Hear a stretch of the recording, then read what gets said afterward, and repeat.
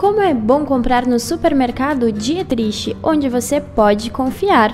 Produtos de qualidade e ótimos preços, carne fresca, pão quentinho e tudo que você e sua família precisam para comer bem, gastando pouco. Você encontra no supermercado Dietrich.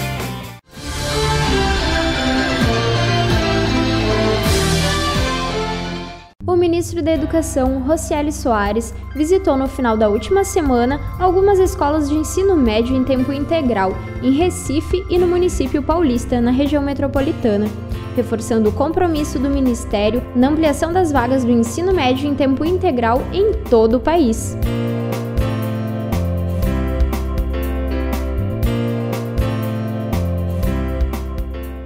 Em entrevista, o ministro afirmou que é necessário focar na construção de uma escola que faça sentido para o jovem brasileiro, espalhando modelos que dão certo para outros lugares do Brasil, sendo essa uma de suas prioridades para a atual gestão.